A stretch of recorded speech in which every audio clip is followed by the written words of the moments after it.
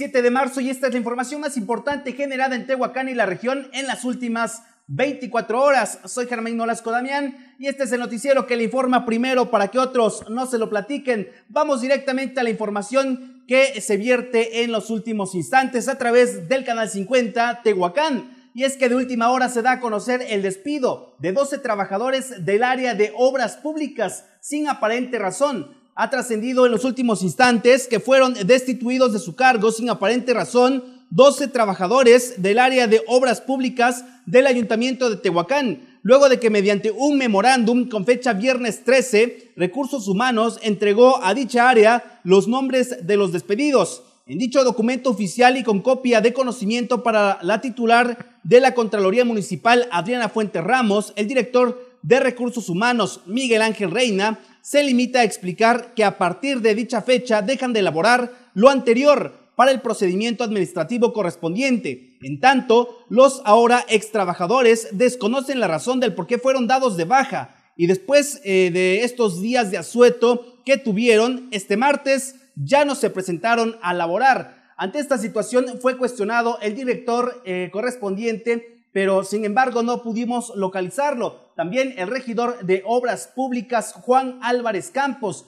quien señala que a pesar de que es facultad de la presidenta Ernestina Fernández Méndez, a estas alturas del gobierno y de la administración no se pueden realizar cambios de manera repentina, sobre todo porque afectan las labores en el área correspondiente de eh, obras públicas. Esto fue lo que explicó y esta es la declaración del regidor Juan Álvarez Campos.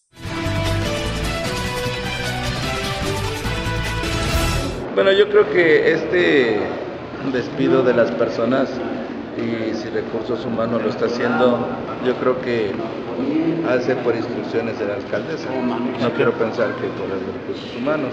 Y bueno, lo único que puede suceder ahí es que al paso que vamos, vamos a retroceder, a retroceder un poco en cuanto a los proyectos que se tienen. Eh, yo considero que si es para bien, pues adelante, se tienen que hacer algunos cambios en cualquier lugar, en cualquier empresa, pero ojalá y sea rápido, porque bueno, si contratamos a alguien es por experiencia y por, deben de saber su trabajo. Sí, claro. Y si se están despidiendo, bueno, los jóvenes tienen que argumentar por qué los están despidiendo. Oiga, ¿ustedes la, ¿usted le notificaron algo previamente? Eh, ¿Algún argumento que han dado? Para ser sincero, a mí nunca se me ha notificado que van a despedir la gente. ¿Ha afectado al área de obras Claro, afecta bastante porque, bueno, si ya se van caminando la situación y volver a regresar, digo, hay gente que entra sin experiencia, sobre la marcha van aprendiendo, pero al tiempo que llevamos y vamos a volver a decir que vamos a volver a empezar, bueno, pero yo desconozco bien ese tema. Poco viable entonces el que se Exacto, sí, sí, la verdad, sí, ahí se ve realmente que las cosas no, no estaban funcionando y si es para bien, pues adelante, ¿no? Pero este, los ciudadanos esperan que sigamos trabajando como lo hemos venido haciendo. ¿Podría estar relacionado con el hecho de los 5 millones que tuvieron que regresar? O... Eh, yo quisiera pensar que no. Ajá. Hay algunas cosas, por ejemplo, con algunos constructores, este, por ahí con algunas documentaciones que tal vez el personal no caso omiso sí, a la situación, pero bueno, hasta ahí nada más. Pero 13 de un solo instante es lógico. Bueno, yo creo que recursos humanos debe de deben de enfrentar y decir por qué se despidieron. Hasta esta fecha no ha sido respuestos este personal. Este... Hasta ahorita no, hasta ahorita no. Digo, eh, yo en las próximas horas voy a platicar con la presidenta por qué tanto despido. Que, que nos informe por qué. ¿A usted eh, hasta qué día se enteró? No, yo me enteré el viernes. El mismo viernes. El viernes me enteré. Eh, hoy es el primer día que elaboramos por el puente y este, la presidenta salió de la ciudad de Puebla.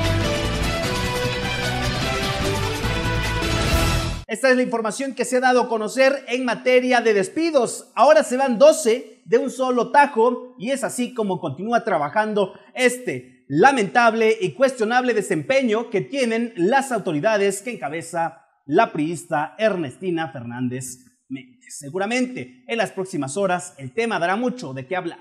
Mientras tanto, vamos con más información, información que tiene que ver con el área de la salud porque a partir de los próximos días inicia la coordinación entre varios municipios El motivo principal es estar enfocados en cuidar todo lo que tiene que ver con el ámbito de la salud, pero en la zona de San Gabriel Chilac, donde se concentran una eh, gran cantidad en la época vacacional de ciudadanos. Se trata de el balneario La Taza, donde estarán pues realizando acciones concretas de salud y coordinándose de manera directa los municipios de Tehuacán, San Gabriel Chilac y San Francisco Altepeji. Esto es lo que da a conocer la regidora de salud, Marta García de la Cadena.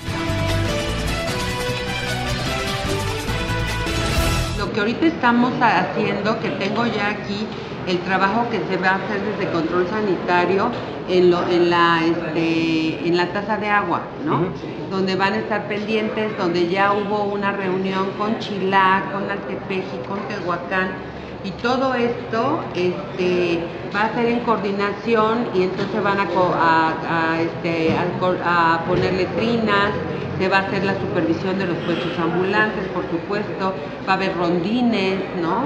De, pero nos vamos a unir tanto a Chilá como a Tepeji y a, por supuesto Tehuacán, ¿no? Eh, ¿Solamente trabajarán en, este, eh, en esta zona de la taza o en algunos es otros? Es que en la taza como que son muchos. Los demás aquí, por ejemplo en San Lorenzo, todos nos toca más a nosotros, ¿no? Los de la taza porque se juntan tres, tres este, municipios y por eso es que tenemos que coordinarlo lo, con la jurisdicción 10. Este, para prevenir qué, sobre todo, este, Los alimentos, no sea pues, tifoidea, ¿no?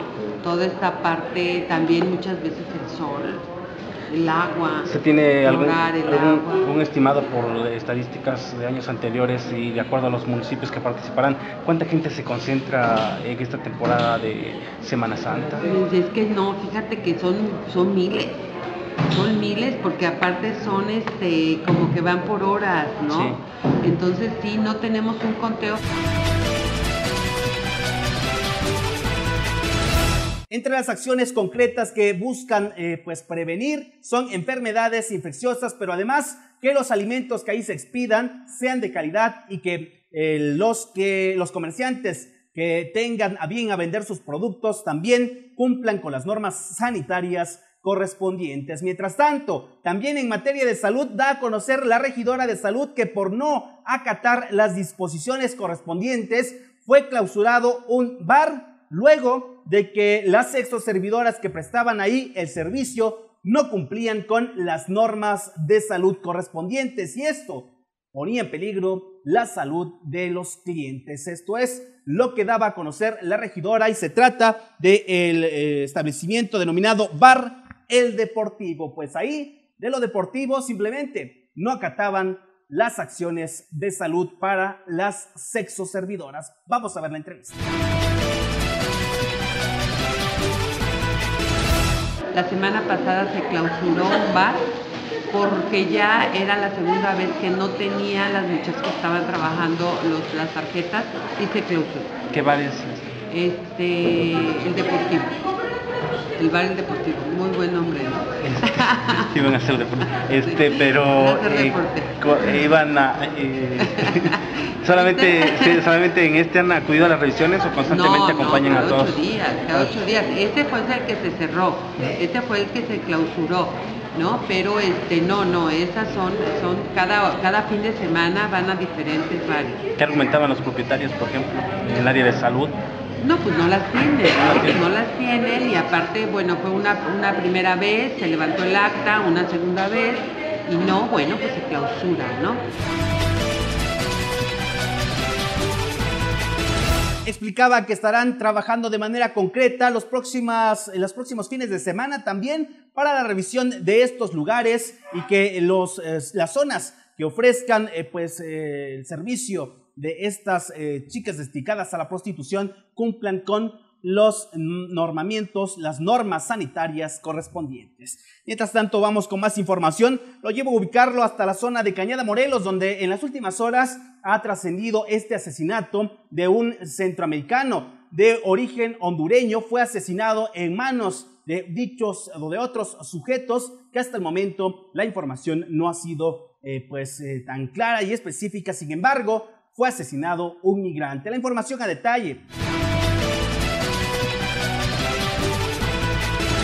Un hondureño aparentemente menor de edad fue ultimado de un balazo en la cabeza el pasado domingo por la noche cuando viajaba en un vagón del tren. Los hechos se registraron en las inmediaciones del tramo Azumbilla Cañada Morelos. Después de las 22 horas, personal de las policías municipales, estatal, ministerial y ejército mexicano arribaron al lugar donde se encontró el cadáver de la víctima, quien hasta el momento no ha sido identificada. Según los testigos, los responsables fueron alrededor de 10 sujetos presuntamente centroamericanos que se subieron al vagón en Tierra Blanca, Veracruz, y que pasando un túnel en el territorio poblano, amagaron a los demás que viajaban en este lugar y quienes iban a bordo, puesto que algunos se arrojaron del vagón en movimiento. Los asaltantes empezaron a disparar, privando de la vida a la víctima y lesionando a otro pasajero que se debate entre la vida y la muerte en un hospital de este municipio de Tehuacán, ya que también recibió un impacto de bala en la cabeza.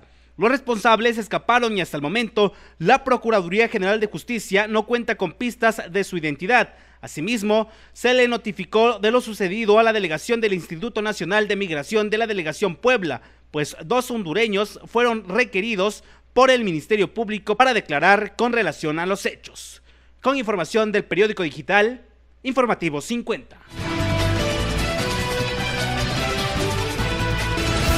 Mientras tanto, vamos con más información que tiene que ver con migrantes, pero con nuestros compatriotas. Lo llevo hasta la zona de Estados Unidos con nuestro compañero Amador Castro, que nos va a relatar esta historia, historia de migrantes. Luego de pasar 20 años en la cárcel, fue eh, pues concedido el perdón a uno de nuestros compatriotas que simplemente la autoridad norteamericana le dijo, usted disculpe, usted no participó, estaba acusado de violación y de secuestro. Ayer lo pusieron en libertad, le decía, después de dos décadas lo consideraron inocente. Esta es la historia. Ayer murió un rinche americano, un ilegal también cayó. ¿Qué tal, Germán Nolasco Damián? Es un gusto saludarte una vez más desde la ciudad de Nueva York para Informativo 50 en Tebocán, Puebla, y así mismo traerte lo más relevante que acontece en este país. Ayer en el estado de Chicago, Illinois, un juez le otorgó la libertad al señor Ángel González, de origen mexicano, después de haber sido acusado por participar en un delito de secuestro y violación. Esta persona estaba sentenciada a 55 años de prisión, quien después de una serie de investigaciones le dijeron, al fin, tú no fuiste perdón y estás libre.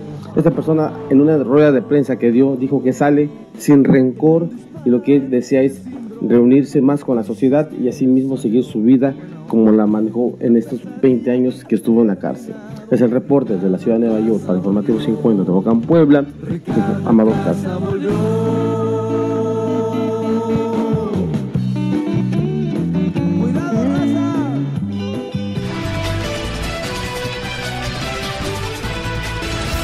Lamentable historia, pero son las reales, la que todos los días viven nuestros compatriotas. Mientras tanto, también en la zona de migrantes, pero en este territorio mexicano, lo llevo a ubicarnos hasta el municipio de Zapotitlán Salinas, donde de acuerdo a las versiones de las autoridades, en los últimos meses, los ciudadanos de esta zona de la Mixteca han sido víctima de las extorsiones y es que de acuerdo a lo que da a conocer el alcalde de dicha zona, los vivales aprovechan la ausencia de sus familiares para llamarlos con presuntas llamadas desde la Unión Americana diciéndoles que tienen a sus hijos, a sus hermanos o a sus conocidos secuestrados y los llevan, los orillan a depositar fuertes cantidades económicas a cuentas bancarias que precisamente son de los delincuentes. Estas historias se han presentado con frecuencia y donde las autoridades correspondientes exhortan a la ciudadanía a no dejarse engañar. Por lo pronto, en Zapotitlán Salinas se pueden confirmar ya por lo menos 40 casos de extorsiones telefónicas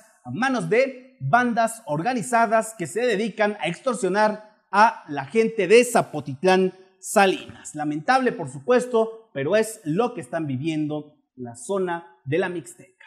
Lo llevo ahora a ubicarnos hasta la zona de la Sierra Negra en el municipio de Coyomeapan, donde de acuerdo a las autoridades de esta región, se trata de por lo menos ocho comunidades las que sufren el drástico descenso de las temperaturas, mismos que en los últimos días se han visto afectados de manera considerable, de acuerdo a la declaración que emite la presidenta de dicho lugar, Araceli Celestino Rosa. Debido al descenso de temperaturas, que se está registrando por los frentes fríos correspondiente, existe la alerta en eh, cuatro comunidades específicas de Santa María Coyomeapan enclavadas en la Sierra Negra. El termómetro de las temperaturas bajó hasta 0 eh, grados centígrados. Esto es lo que informaba la presidenta de Coyomeapan, Araceli Celestino Rosas, que por cierto mencionó que pese a estas situaciones climatológicas, al momento no se ha registrado ninguna eventualidad. Y es que expresó que aun cuando se mantienen en constante monitoreo en todas las comunidades que integran el municipio, tanto por la onda gélida como las lluvias que se han registrado desde el pasado miércoles,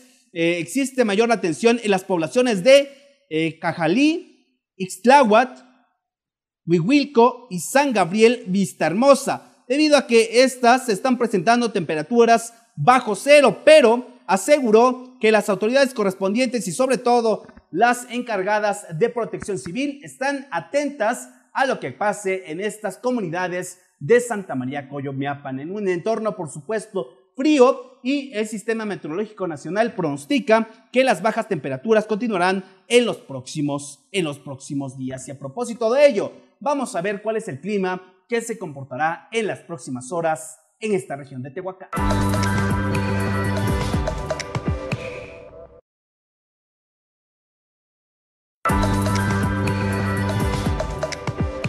Mientras el termómetro registra temperaturas aún bajas y estables en esta zona de nuestro país, en la Unión Americana pues ya presentan días soleados, nada comparado como las semanas anteriores que estaban con las nevadas. Esto es lo que nos informa desde Estados Unidos nuestro compañero Amador Castro.